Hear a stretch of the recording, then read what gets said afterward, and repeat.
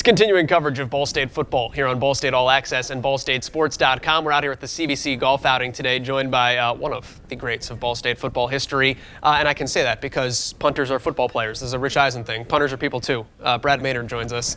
Uh, what's up, man? How you been doing? I'm doing well, thank you. It's great to be here. What brings you back up? What out of uh, out of all of the years uh, in 2018, what made you come I back? know. Finally, I could. I made it work. Um, it's tough with three kids. Um, I got three kids in travel sports, travel baseball, travel cheerleading. Um, it just finally it worked out that I could get away for a weekend. It's nice to be back here in, in Muncie. What's it like being a normal guy now, not being a football player and kind of being able to play dad a little bit? My wife keeps that? asking me when I'm going to grow up. what are you going to do? What are you going to be when you grow up? Um, it's been great. I've been. That's one of the best parts. Is just I've been fortunate that I've been with my kids from, and I think about coaches constantly. I mean, because my wife asks me all the time, "Is coaching something you want to do?" And I do, but I've been able to enjoy my kids while they're young. I've coached them all throughout little leagues, little league sports, all the way through middle school. Um, so I've, I've been there, and that's been nice. Uh, will they punt? They are. I just got off the phone with a with a punting coach. Um, they're trying to follow need a my punting footsteps, coach? right? I- I'm like, where can you find a guy? it's sometimes it's easier. It's easier to do it than teach it. I've enough. found for me. So, but yeah, the boys are trying to follow my footsteps, and um, we're starting the recruiting process right now with my junior in high school, Connor. Um, and it's it's it's exciting. I'm kind of seeing now what my parents went through, and it's exciting. What else are you up to uh, other than being a dad? Lots of and a- golf. yeah. Should be ready for today. Um, um, working off and on for a couple of different companies in sales. Um, I use the term working loosely uh, because it's kind of on my time, and so that's nice as well. Again, I can be at home and spend time with my wife and kids. Let's talk about uh, let's talk about the good stuff from back in the playing days a little bit. Um, when you first come into Ball State football and get associated with the program, Brad Maynard is one of the first names you learn about, uh, and not the fact that you were just a great punter, but the fact that you were the defensive player of the year and the MVP as a punter. Uh, when you look back, I mean, you're a punter, so maybe the answer to this is not that much. But how crazy was that to you that that people had that much respect for what you were able to do in that position? Yeah, it's a, like you said, it's a looking back. It, it, it's people ask me all the time about why didn't you go to a bigger school? Why weren't you at a Big Ten school or an SEC, you know, whatever it was? And number one, I wasn't recruited that heavily out of high school, but um, number two, I, I look back and like I don't think things would have been the same. I don't think you're not going to win MAC MVP in the Big Ten as a punter, a defensive player of the year as a punter. So I feel like it was destined for me to be here and for things to work out the way they did. And um, I wouldn't. I tell people still, I wouldn't change a thing. you weren't recruited. Um, and I read the story that talked about you being found. This is the, I feel like if this is 100% accurate, the craziest recruiting story of all time. Did Tex Ritter recruit recruit you, so to speak? Yeah, you know what? I was at a camp at Anderson, in Anderson, at Anderson University, and Tex and Bill Reynolds, the kicking coach at the time, were at that camp. And, and Tex, I told the story last night to the CVC group, and uh, I was hitting balls and having a great day. And they came up to me and said, Hey, hey kid, where are you going to school next year? And I said, School? What do you mean? He said, You're, well, Who's talking to you? I said, Nobody. And I just remember looking back now, seeing the, the little mouse running in Tex's head. Don't tell him I said that. Um, and he, he and Bill look at each other like, Are you kidding me? You know, and so anyway, that was kind of the start of the recruiting process. And the next thing we know, we get a call from Bill Lynch, and uh, my parents and I came over to, to see Bill. We sat in the underneath the in an office under the football stadium there, the old locker room, um, and that's kind of where the details were worked out. And didn't have a scholarship available, but said we'd like to have you come walk on, and um, thought it was a great opportunity. With Damon Keller was their punter, and he was going to be a fifth-year senior. They had one other punter, Steve Schulte, on scholarship, uh, but I just felt like it, and Purdue offered same preferred walk-on status, and but they had scholarship a kid out of Florida um, that was my age. So it just seemed like the best opportunity for us to have an opportunity to play. Tell me about the experience you got being at Ball State too, because I know you've said in other interviews also that, and you, this wasn't even something you got to do in the NFL. In that, here you were able to. It was up to you where you were going to punt the ball. They they gave you the the leeway to understand the situation and and and grow that way. How much did that help you? Uh, a have success here, but b also become the guy you became as a punter. Yeah, I'm so blessed to have Scott Petel was our special special teams coach, and he gave me that.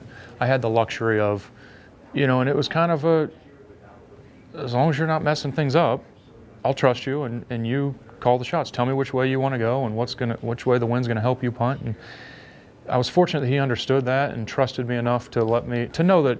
Hey, and I've heard, you know, Bill Lynch has said it before that I was a team player. You know that I was going to do what was right and, and, best for the team at the time. Um, did you ever mess it up? Like, what was the learning process like and the trial and error? Well, I wouldn't say I'd ever I've ever messed up from a a strategy standpoint, but I miss hit balls. You know, of course, you're a punter, you're going to miss hit a ball here and there, especially playing in Muncie, Indiana, in the wind and the cold. And uh, so there were times when, you know, I, I know I, at home one game I remember my, the 19-yard punt off the side of my foot, but to me that was a good that was the good miss. If it was off the side, because that means I just barely missed it. If I was hitting it off the inside and it was curving, curving left, that was more trouble for me. But, but a couple times, you know.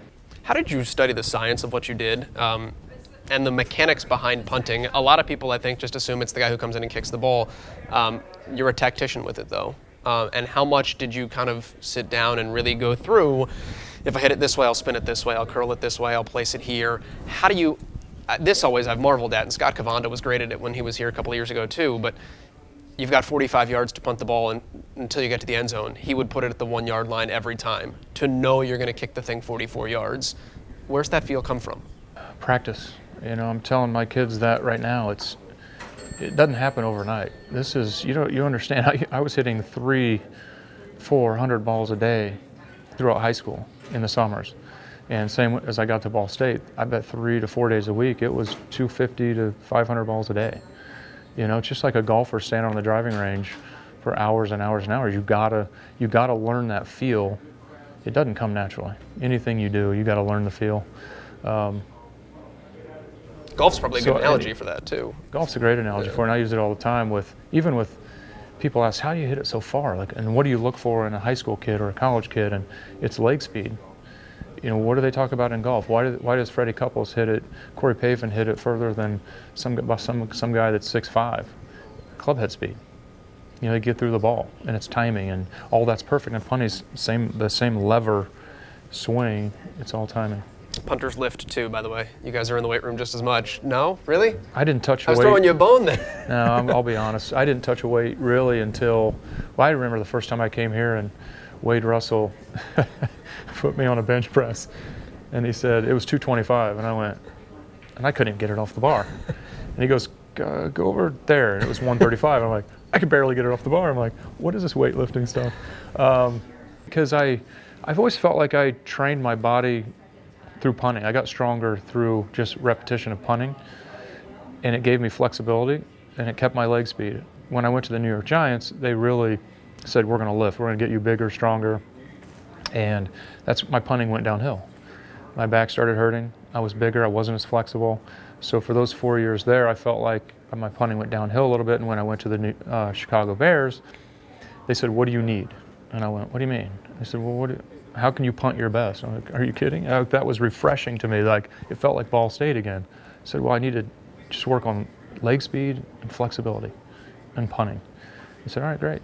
and I really didn't touch a weight much with the Chicago Bears then, and and that's I and I went from about 200 pounds with New York back down to about 182, and I was just felt so much better, and I was my legs were freer, and I could swing the ball, swing my leg better. What's punting in the NFL like? Because in those specialist jobs. Um, I feel like there is such a small margin for error where you've got to be on every time. A, you impact the game only in small spurts when you're out there, and B, when you make a mistake, it's seen so much. How do you stick around for so long doing what you did? Consistency. It, you, I mean, that's all it is, period. And I, I, think to this day, the best compliment I ever got from a coach was Dave Toub in Chicago. Said to me one day, he said, Brad, what I love about you, I've never seen you hit two bad balls in a row. You know, and that, and again, how do I build a consistency? Just 300 balls a day, all through college, 300 balls a day in the off season. Just consistently, constantly working on the craft. Tell me about the Super Bowl. What's it like to get there? Super Bowl's great. That's so fun. I just wish we would have won one. Um, I guess you know it's it's the pinnacle of our sport. It's what everybody. That's why we play. Um, some people think we play for the money, and that's great and all. But but when you're when you're really there, you're playing to get to the Super Bowl, and and first it's to get to the playoffs. I mean, I know I know guys that played 10, 12 years and never got in a playoff, never played in a playoff game. To never feel, to me, that's the NFL, because it changes. You talk about errors and things that stand out. Something, a, a mishit, mishitted punt, for example, in a regular season game, people forget about. If it happens in a playoff game, it's never forgotten. You know, and that's special. I mean, that's that's kind of what drives you and motivates you the most, though, is just the, that pressure of, and that's something you asked what I'm doing today, and it's so hard to find something that brings back that that can emulate that pressure, and it's it's kind of tough to, to find something that I love that much, and you know, wish I could still punt, but well, those days why, are done. I feel like that's why athletes hang on as long as they possibly can too. It's, tell, it's, not because they love what they do in some respects, but you can't replicate you can't that replicate feeling. it at all. And I tell, I was talking to a punter the other day who's in his 14th or 15th year, and and uh, and he was talking about, ah, I'm going to give it another year or two, and I'm going to just hang it up. And I said, be careful saying, I said, make them kick you out, because I'm telling you, when it's gone and when it's done, and you can't go back you're going to miss it. I know it's hard now because he's got young kids like I did, and you start thinking about your family and being around for your kids. And but when it's done, it's done. So. What's Ball State mean to you in hindsight, looking back at it, um, and the legacy that a lot of people trace back to you as well in terms of the the punter you and, and what kicking means at this school you now? just gave me goosebumps. I mean that that was the coolest thing to me. That Reggie Hodges followed me, and then Scott Kovanda was obviously really good. Um, Chris can, Miller. Chris Miller. Chris was great, and a couple of those guys. I'm surprised they didn't get an opportunity or a, a better look. You know. Um, but yeah, it's funny. Even around the country, people will occasionally run into somebody and they'll say, "Punter, you." It's pretty cool. It's a neat. It's a neat thing the All-American trip that you had too. Um, there's so many All-Americans that are part of that punter U. Uh, was that a neat aspect of all this? Because who would think that here's this guy from Sheridan, Indiana, goes to Ball State University to be a punter, and you're in. That you was, guys did the Bob Hope show. You're Bob in Vegas. That was probably like, one of the best. Just meeting Bob Hope, and my parents still have a blown-up picture of of Bob Hope here, Ahmad Rashad here, because uh, Ahmad was the host. I don't know if he's still if they're doing anything like that with Ahmad anymore, but and I kind of just leaned down in between them, put my hand on both their shoulders, and you know those memories are the best. You know, and then the Walter Camp. Um, Walter Camp has a foundation in Connecticut, and we went out for that. And Lynn Swann was there as one of the kind of guest speakers, or or whatever it was. Um, and I'm flying back, standing in the airport, and I just happened to be on um, Lynn Swann's flight and we're going back. I think I had a layover in Pittsburgh is what it was. So he was going back to Pittsburgh, and uh, he's standing up at the counter, and he kind of turns around and motions and goes like this, and I standing there, of course, and I'm going, what's he? And he's point talking to me, and he pulls him. He, he puts me into first class with him. I, so I fly back in first class. This was after my senior year, so this was all legal. Um, I think. Pat Quinn just and, had a heart uh, attack, yeah. Right. Sorry, guys. Um, it was definitely after my senior year. Um, but I flew back with Lynn Swann in first class, and that was one of the coolest things I ever got experience. And as we're flying to Pittsburgh, he's pointing out his house to me, and just it was so cool. But just the opportunity to meet people like that, and Chris Fowler was the MC for that, and he was, he was young in his career at that point, and um, just met a lot of really interesting people and big name people. You know, it was just really neat. I just like that Lynn Swann can point out his house from an airplane, from an airplane while flying we over Pittsburgh. Though, right? Yeah, I, within some sort of degree of error. um, obviously, you stay in touch with Ball State. Um, how much do you stay in touch with Ball State football now that uh, one of your teammates is in charge of it all? I love it. I love that we brought back one of our own, and to me, that's you're bringing back somebody that it's not a job to him. I don't think.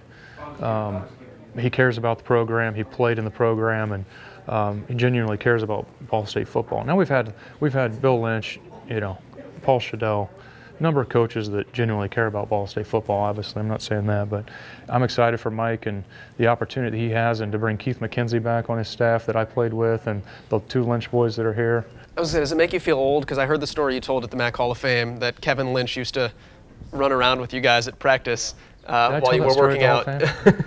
yeah, I told that story last night to some folks too. Um, is, is, that crazy that Kevin Lynch oh is now gosh. coaching you? It is crazy. Um, I, we were doing the math. I, I, was here in February and I stopped by the football office and we were talking about that. And I think we think he was 12 my senior year. You know, just running around and not a care in the world. And now he's running backs coach. It's pretty exciting. Give me a story on Mike Neu before I let you go. Um, gosh. I wish I had a story on Mike. Darn it. Maybe I'll get one after today. Um, Mike was obviously an exceptional quarterback and um, a leader, and, and, you know, with his size, was such a presence. Um, I think that's what I remember the most when I first came here. Just remember going, "Wow, that's like that's a quarterback. That's what a quarterback's supposed to look like." You know, I'm like, we can, my high school, our quarterback was 5'8", You know, so and we ran kind of the, the option, and uh, that was kind of my first experience. But Mike was, I believe, a junior. I think I played two years with Mike. Yeah, I know I did because our senior year, his senior year, we won the, the conference. So, um, so I don't have any good stories outside of football, darn it. He was fiery though then. Like the fire you see now as a head coach, I feel like that was like volume turned up to 10 probably back as a player. Maybe. I'm not sure. Um, I would have said Mike was a calm, I could see that too. Calm, as a cucumber, you know, as a quarterback. I think. I think when when you're when you come the head coach, you know, it's everything's on your shoulders. I remember Bill Lynch used to just get beat red. He wouldn't yell much at us as players. He, I remember yelling at refs a couple times, but man, when he's all he had to do was not breathe for a few seconds, his face got so red, and you just knew. All right, shape up. What do those guys mean to you? We'll end on that note. Um, Love 'em. Bill Lynch, Paul Schudel, the impact they made on your life. again, didn't understand it back then, but tho- those those men really cared about us as players. And I remember every every year at the end of the year, Paul Schudel had the exit meetings, you know, um, with every individual player, and it was always his first question was always, "How are your grades? How's school going?" You know, and then or, or how's your family? Um, so that's what I remember the most. It wasn't always about football, uh, but it was more about us as people. Brad, appreciate the time. Uh, thanks for sitting down. Uh, welcome back to Muncie again, and uh, Appreciate it. hit him Thanks straight, hit him Thank far. you. It'll be fun. Brad Maynard joining us here on Ball State All Access. Uh, best punter in Ball State history, and because punters are people too, uh, maybe one of the best football players in Ball State history as well.